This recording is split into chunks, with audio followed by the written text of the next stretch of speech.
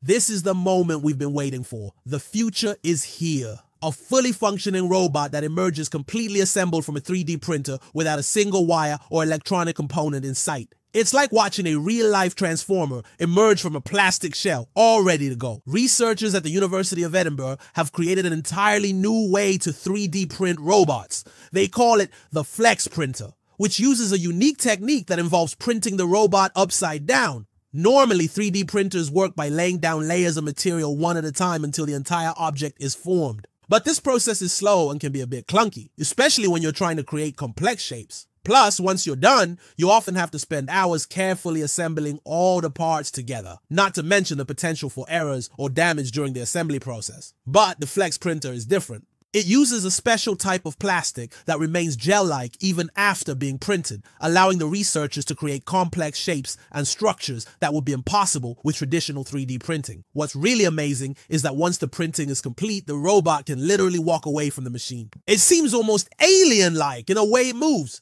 like a strange creature emerging from its plastic egg ready to explore the world.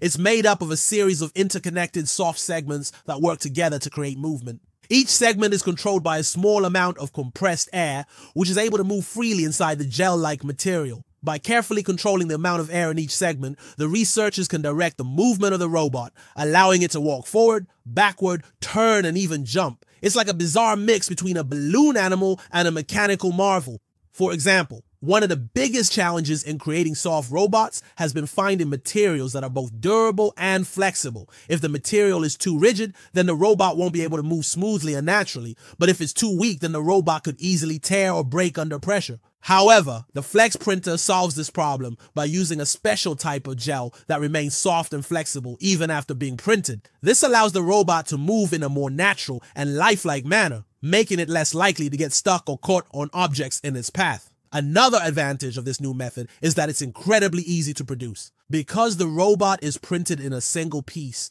there's no need for complex assembly or soldering, which means that anyone with access to a 3D printer can make a fully functioning robot in just a few days. In fact, the researchers have already made several different types of robots using this technique, including a four-legged cheetah-like robot that can run up to 20 miles per hour, and a two-legged humanoid robot that can walk and balance on its own. As amazing as it is, this tech is still in the experimental stages. There are still some kinks to iron out and some challenges to overcome before we see these robots out in the real world. But the potential applications are endless. Imagine a future where we have soft, flexible robots working alongside us in various industries. They could be used for search and rescue operations in dangerous environments, exploring other planets, delivering goods in hard to reach places, or even assisting with delicate medical procedures. One of the most exciting aspects of this technology is that it's open source, meaning that the researchers have made all of their designs and data publicly available for anyone to use or modify. This could lead to even more innovative applications and could help to accelerate the development of soft robotics as a whole.